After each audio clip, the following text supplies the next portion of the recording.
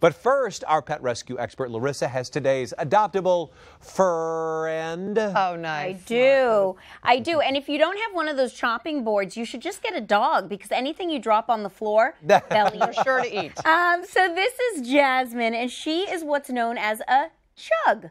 C H U G. That's a Chihuahua and Pug mix. She's a four year old brindle, and is she not the cutest? Look at her little face. She looks like a wise little lady. She was surrendered to a wonderful rescue in LA with her sister, uh, financial reasons um, for, from her original owners. She has a snaggletooth and an underbite, which I absolutely adore. It gives her so much character. She loves to be held. She's actually a really good kisser. She was she was trying to get to my face a minute ago. She's so sweet. There there we go. She cuddles. She has a very unique look to her, in these floppy ears just really highlight her beautiful face. And she's got a cute little piggy tail that's like a little piggy.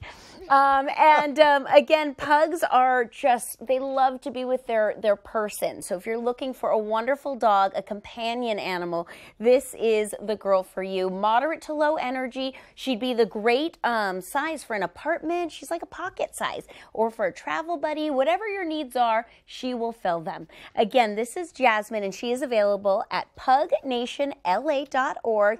She's the wonderful Brindle Chug. And of course, she is just one of many animals around the country that we are going to find homes for. It's our mission, and we are going to fulfill it. And it is Hallmark Channel's Adoption Ever After because every animal deserves a, a mouth to kiss and a bed to sleep in, just like Jasmine. Oh, thank you, Thanks, Larissa. Larissa. Thank you, Jasmine. Oh, I love her so much. So cute.